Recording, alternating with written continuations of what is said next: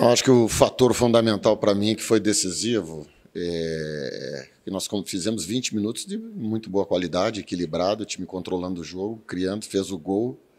No momento que tu começa a perder na sua fase defensiva, perde um, um zagueiro que já não vinha jogando, perde um lateral, numa, dois, dois jogadores antes do, dos 20 minutos, e já tem um lateral que está estreando, quer dizer, sem o, o, Ricardo que era o titular. Então hoje, é, defensivamente, principalmente no primeiro tempo, nós fomos é, muito abaixo do que normalmente é, a equipe produz. Então esse foi um fator fundamental porque mesmo no primeiro tempo é, depois das, dessas trocas, não por causa das individualidades, por causa do conjunto, do padrão. Evidente que esses jogadores não estão. O Celso não está ainda naquele entrosamento, não está naquela condição ideal dele. É, o Renan veio de uma cirurgia, teve que entrar numa situação de, de emergência, enfim. Isso, para mim, foi um fator fundamental, porque tomamos dois gols no primeiro tempo normalmente gols que a equipe com a maturidade e, a, e, uma defesa sólida como normalmente é a equipe normalmente não, não tomaria. É evidente que pô, se tu tem uma estratégia que tu, dentro do jogo tu põe teu time na frente para buscar o gol e tu sai na frente, eu jamais coloco o meu time para baixar bloco. Isso é situação de jogo que normalmente acontece é, final do jogo, nós com 10 jogadores, o, o Ipiranga foi para trás para buscar resultado, mas isso não é uma situação em que o treinador planeja. Isso é uma situação de jogo, o próprio movimento da equipe adversária que, que, que sobe as suas linhas, induz é, o adversário a baixar bloco. Sofremos é, alguns momentos é, com bloco, bloco baixo, tínhamos que saber sofrer naquele momento e controlar e manter aquela pegada de início, que foi uma pegada técnica com qualidade, é, onde a equipe conseguiu, além de fazer o gol, criar mais umas duas chances. Não, é, hoje tu tem que analisar que ofensivamente nós tivemos mais força. No momento que tu coloca o Vanilson jogar junto com o Brenner, com dois atacantes, num, num 4-4-2 bem tradicional, evidente que tu ganhou uma força ofensiva, nós tivemos chance para fazer até mais gols, mas hoje foi uma noite que nós tivemos problemas clínicos, né? Tínhamos dois jogadores que saíram antes dos 20 minutos de jogo.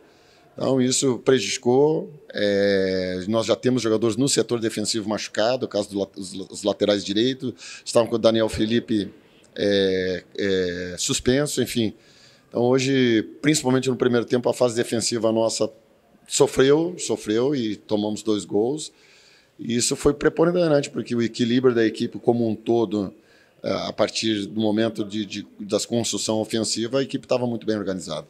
Não, foi, foi triste, justamente por essa questão de, de perder jogadores importantes clinicamente, questão de lesão muscular muito cedo, né? não foi nem pelo próprio esforço do jogo, porque foram antes dos 20 minutos que nos prejudicou muito em termos de organização como equipe.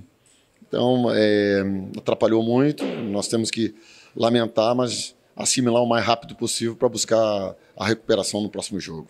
É, agora temos dois jogos em casa, se sermos é, matemáticos, preciso buscar duas vitórias, pensando uma de cada vez, o Floresta do primeira, primeiro planejamento, é, estabilizar um pouco mais a equipe, tentar com o jogo agora praticamente que com certeza essas lesões que estão aparecendo são reflexo da, da Copa do Brasil, com jogos mais é, com uma sequência mais é, mais pesada e agora a gente tem semana para poder recuperar e trabalhar também. Isso nos dá uma condição de segurar mais equipe, ter a equipe mais inteira dentro dos próprios jogos, até porque alguns, alguns jogadores já estão recuperando, o Daniel volta, o Ricardo pode estar à disposição no próximo jogo, isso vai me dar mais opções em termos defensivos.